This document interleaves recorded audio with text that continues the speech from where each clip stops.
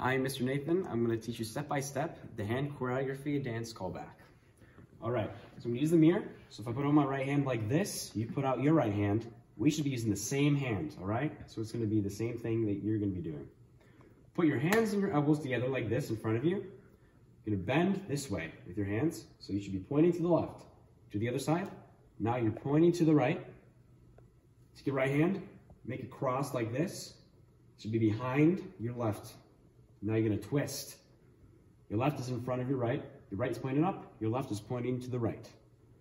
Bring your left arm down under your elbow. Straighten your right arm so you're pointing down.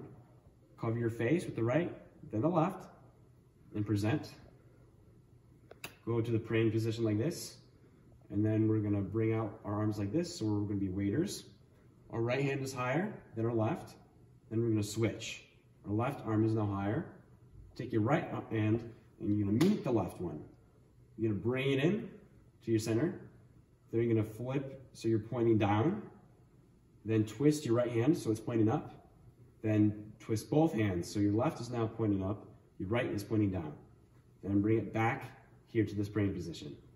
Then you're gonna put your right hand in front of your left like this, cover your mouth, then go up to your eyes like this, then bring your elbows together, so you're still covering your face.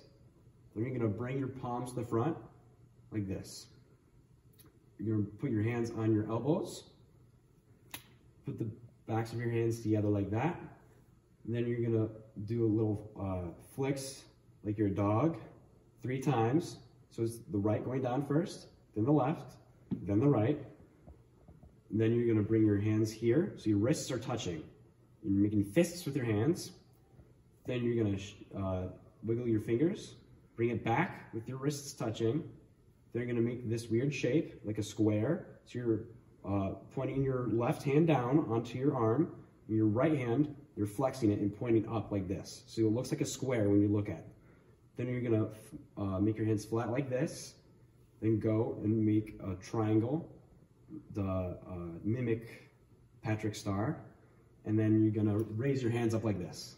And that's the end.